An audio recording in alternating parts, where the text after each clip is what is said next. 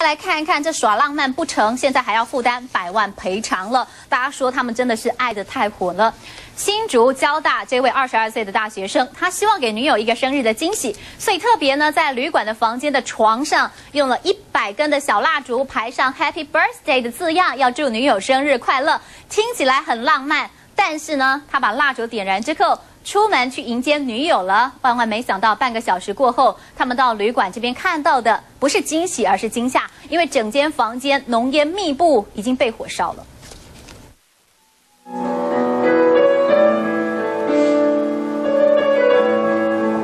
求婚告点蜡烛耍浪漫，小心爱得太火也会酿成灾。新竹焦大生为了帮女友庆生，在旅馆床上用一百根小蜡烛拍生日快乐，想给女友一个惊喜。没想到三十分钟后接到女友，两人打算浪漫一下，看到的却是满屋子的浓烟。